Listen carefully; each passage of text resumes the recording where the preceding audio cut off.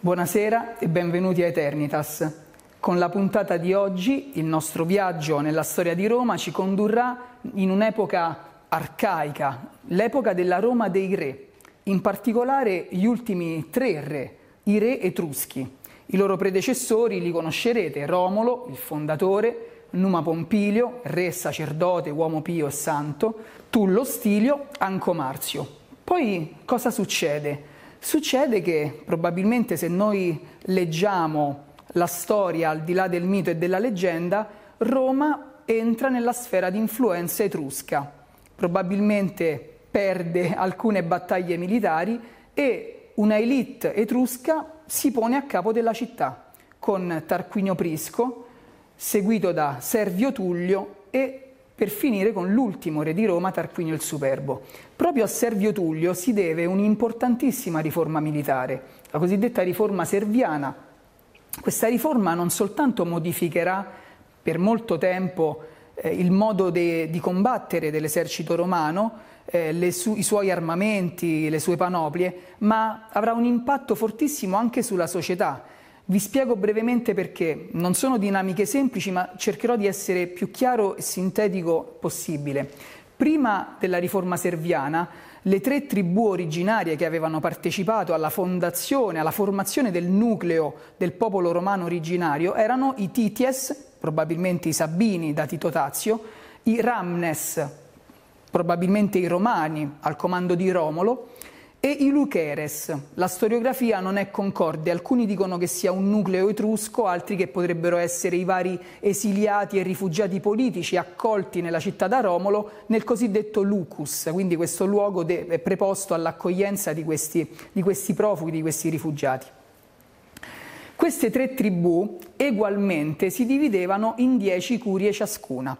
Ogni curia doveva fornire allo Stato romano in caso di guerra, ma in maniera occasionale, soltanto alla bisogna, 100 soldati e 10 cavalieri, per un totale quindi di 1000 fanti e 100 cavalieri per ogni tribù. A capo di ogni tribù c'era un tribuno, questo termine riecheggia già nelle vostre menti, questa carica militare arriverà fino alla fine dell'impero e nasce proprio in quei tempi, è il capo dell'esercito tribale, della tribù. Ovviamente questa legione da legio raccogliere, perché appunto ogni tribù raccoglieva eh, le persone necessarie per fare questa guerra nel numero richiesto dallo Stato, un numero limitato, avevano dei diritti politici in epoca antica soltanto chi impugnava le armi, soltanto chi combatteva, chi metteva la sua vita al servizio dello Stato godeva del diritto di poter presentare la sua candidatura per esempio per le magistrature dello Stato o ad esempio eleggere i re.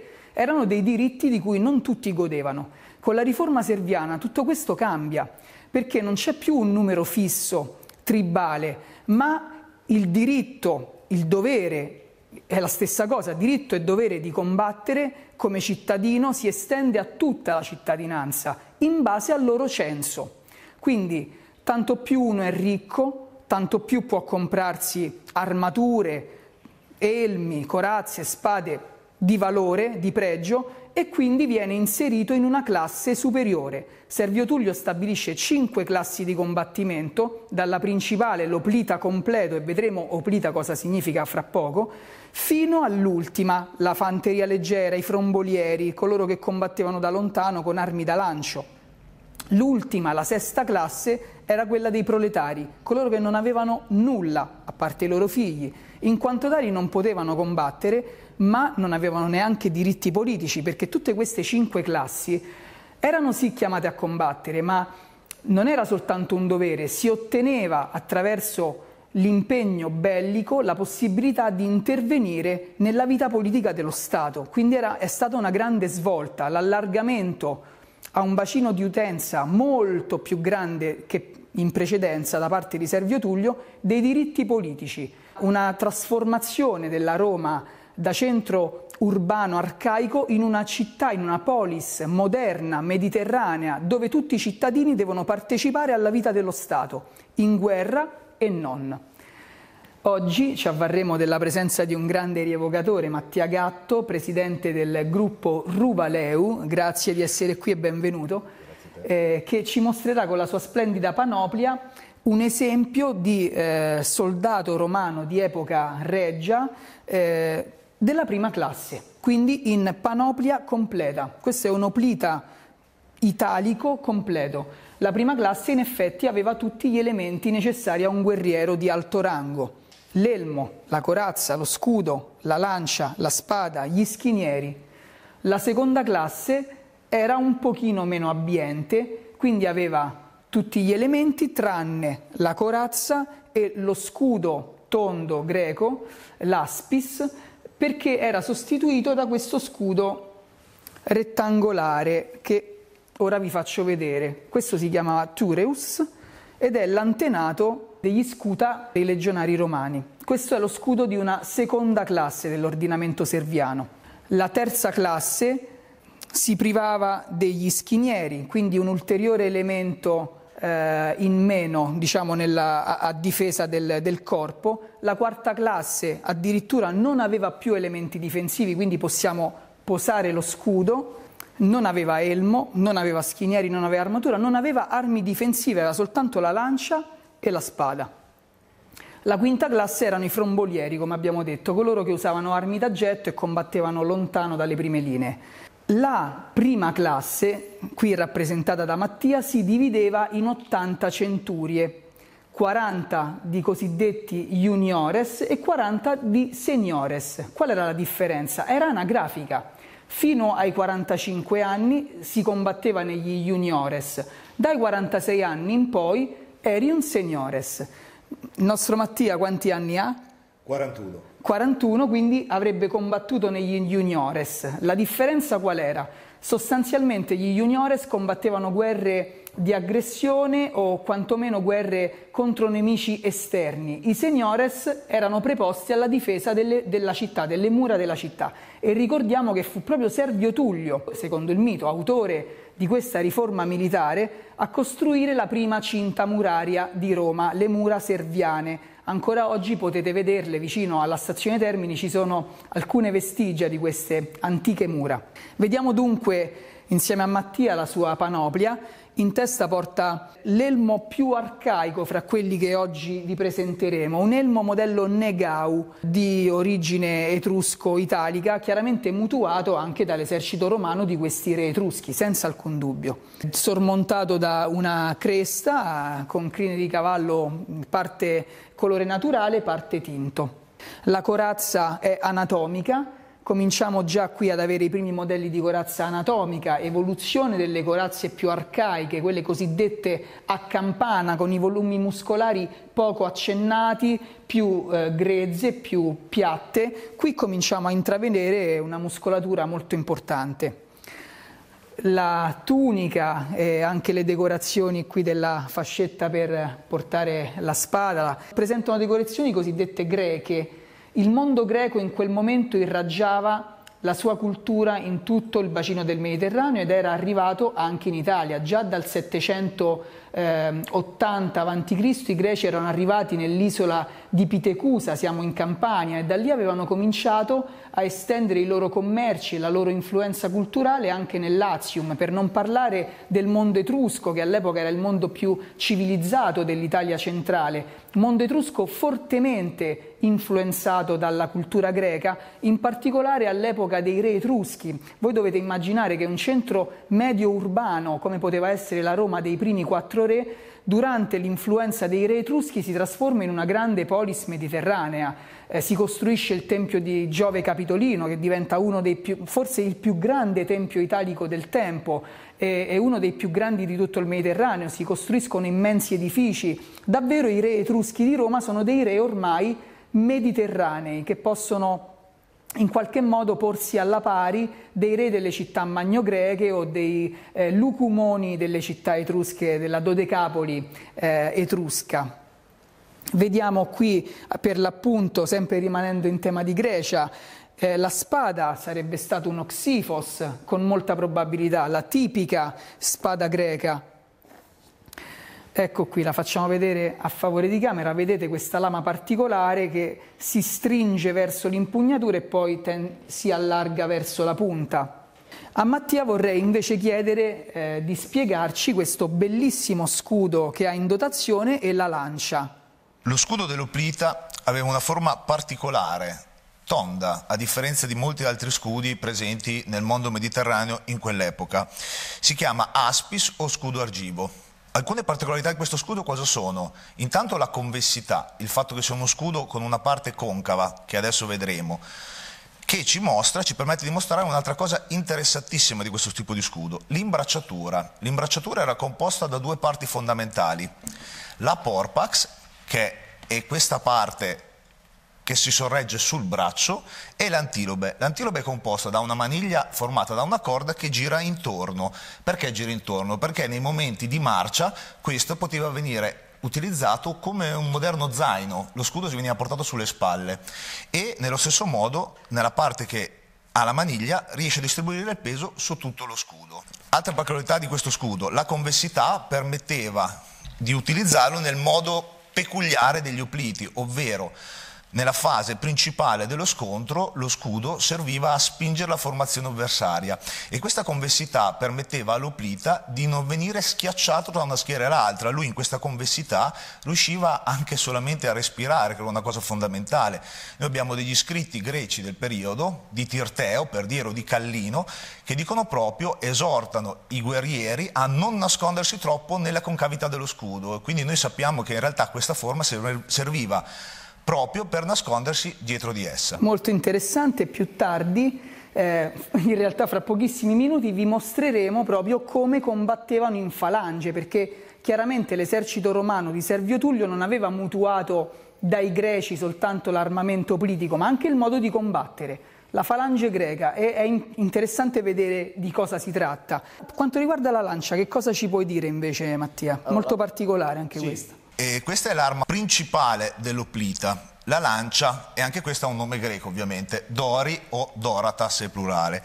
Particolare di questa lancia, intanto superava i due metri di altezza e era composta da una punta e da un calzuolo. Questo calzuolo che era particolare, serviva a bilanciare l'intera lancia, veniva chiamato sauroter, che letteralmente vuol dire schiaccia lucertole, o stirax. A cosa serviva questo particolare contrappeso? A spostare il bilanciamento della lancia non come tutti potremmo pensare al centro dell'asta, come potrebbe essere per un giavellotto, ma serviva a bilanciare il peso dell'asta a un cubito dalla fine. Un cubito è una misura greca e all'incirca 60-66 cm. Questo faceva sì che l'impugnatura fosse in questa zona e quindi il muro di scudi della falange oplitica permetteva con questa lancia di avere due metri di lance che uscivano dalla formazione, non un metro e mezzo come se io la tenessi in questo modo e quindi riusciva a mantenere il nemico lontano dalla propria formazione e se la falange greca si andava a scontrare contro una normale fanteria dell'epoca, questo era un punto a favore grandissimo perché le lance dei nemici, come successe ai persiani a Maratona, non riuscivano ad arrivare a impatto alla falange greca, mentre quella greca li riusciva a colpire. È molto interessante. Allora a questo punto, visto che abbiamo parlato di, di, questo modo di combattere della falange dobbiamo farla vedere a chi ci sta ascoltando prima di andare avanti. È un, un punto d'onore da parte nostra mostrare la falange greca, quindi io ti ringrazio per prestarmi eh, uno scudo e una lancia di Ruvaleu, eh, li prenderò in prestito e cercherò di seguire Mattia nella composizione di una falange. Allora, eccoci qua, siamo pronti eh, a farvi vedere la falange greco-romana. Come vedete è molto interessante vedere la copertura dello scudo. Come vedete la parte, il bordo superiore va sulla spalla, il bordo inferiore arriva praticamente al ginocchio, quindi la copertura è totale perché lo schiniere copre fino a dove comincia a coprire lo scudo. Vedete che l'oplita è completamente protetto, ma c'è una cosa interessante, una parte dello scudo va fuori dalla figura dell'oplita. Come mai? Qual era lo scopo? Lo scopo era difendere il compagno che stava alla sua sinistra esattamente come ora io, che mi metto alla destra di Mattia, proteggerò il mio compagno alla mia sinistra. Ecco qua, così. Questa è la falange, immaginate un muro, un muro di soldati così, comprenderete anche lo spirito militare che poteva svilupparsi da questo tipo di combattimento, la fiducia, il senso di cameratismo, la lealtà, la propria vita dipendeva a tutti gli effetti dal compagno che si aveva alla propria sinistra. Ovviamente adesso per evitare di fare troppi danni non potremo muovere la lancia, ma vi faccio vedere, solo Mattia lo farà, mm, insomma non c'è bisogno che io lo accompagni, come, come combattevano con la lancia Mattia. Vediamo un attimo, il movimento si impugnava sopra mano.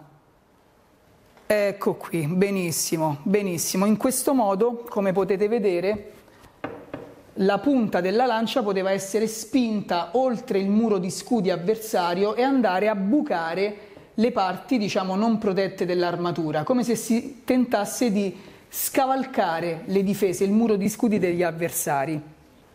Bellissima dimostrazione. Ora vi mostreremo alcune altre eh, componenti, elementi di una panoplia del tempo, in realtà un pochino successiva, perché chiaramente gli, questo tipo di equipaggiamenti oplitici avranno un'evoluzione nel tempo. Ancora cento anni dopo, quando i romani conquisteranno Veio nel 396 a.C., la prima città etrusca che Roma si troverà ad affrontare, molto probabilmente combatteranno ancora alla maniera oplitica, ma le armature saranno un pochino differenti perché nel frattempo, cento anni dopo, più di cento anni dopo, perché la riforma di Servio Tullio si data al 570, quindi sono quasi due secoli dopo, eh, ci sarà un'evoluzione delle panoplie. Qui vediamo un elmo corinzio, non il modello arcaico, un modello già successivo di pieno V secolo, e qui abbiamo un elmo calcidiese di Todi, sarebbe una eh, evoluzione eh, italica dei modelli eh, corinzi. Attualmente questo modello è esposto presso il Museo di Villa Giulia a Roma, se volete andare a vederlo potrete farlo. La particolarità di eh, questi elmi è che soprattutto il corinzio greco puro ha, eh, offre una protezione totale del viso che risulta praticamente eh, sostanzialmente chiuso a parte gli occhi e una piccola fessura per respirare. La particolarità di questi elmi è la difformità degli spessori della lamina di metallo che eh, li componeva. Effettivamente la parte frontale, soprattutto quella del nasale, avevano spesso degli spessori enormi, parliamo di quasi 8 mm o un centimetro addirittura, quindi la protezione del naso, che era quello più esposto ai colpi nemici, era veramente aveva una lamina di metallo molto molto molto spessa. Le parti diciamo posteriori, quelle meno esposte agli affondi nemici, avevano degli spessori più piccoli, un millimetro o poco più. Il calcidese di Todi mostra delle decorazioni molto belle fatte a sbalzo e qui qualcosa ce lo puoi dire Mattia perché tu sei un esperto di sbalzi, in effetti tutto quello che voi vedete indosso a Mattia sbalzato su lamina di bronzo di ottone è stato sbalzato da lui stesso. Eh, che cosa brevemente questa tecnica, di cosa si tratta? Sì, allora la tecnica della, dello sbalzo della cesellatura è una tecnica antichissima, noi la troviamo già nel, nell'Egitto faraonico, nella Siria, vivrà con noi fino ai tempi moderni. In particolarità nel mondo antico, nel mondo mediterraneo, era utilizzata sia per dei decori ma sia anche per un decoro funzionale. Spieghiamoci meglio. In una decorazione come qua, negli episema degli scudi oppure nella lorica che io indosso, lo sbalzo e la cesellatura che andava sia a decorare serviva anche a indurire e a rendere più eh, performante diciamo, il metallo che serviva a proteggere eh, l'oplita in questo caso. Per dire la muscolatura era sì bella ma serviva anche a deviare i colpi a creare dei punti più duri e far sì che le punte di lama che colpivano la corazza venissero deviate. Come anche molte volte la forma degli elmi, che hanno questa forma ogivale, serve a deviare i colpi. In questo bellissimo elmo, eh, che è anche il mio elmo, posso dire fortunatamente, è la replica del calcidese di Todi, questo bellissimo elmo italico da parate, in questo caso che è stato trovato per l'appunto a Todi.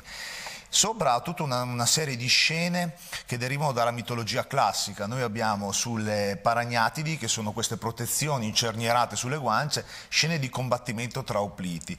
E invece sul nasale e sulla fronte abbiamo dei tipici decori che in realtà sono decori greci sì perché sono degli antemion, ma rivisti con un gusto italico, perché se andiamo a vedere l'antemion la forma è tipica dei decori italici ed etruschi e scene di animali marini, le onnipresenti onde, dei delfini e degli ippocampi sui lati. Ecco, questa cosa è veramente interessantissima a mio modesto parere, il fatto che gli antichi coniugassero il gusto per il bello, per l'estetica, per il richiamo ad antiche forme della mitologia, storie mitologiche sbalzate sulle loro stesse panoplie, quindi in una sorta di eredità spirituale degli antichi eroi del mito, con la funzionalità dell'indurire, della necessità di indurire il metallo proprio attraverso la lavorazione a cesello.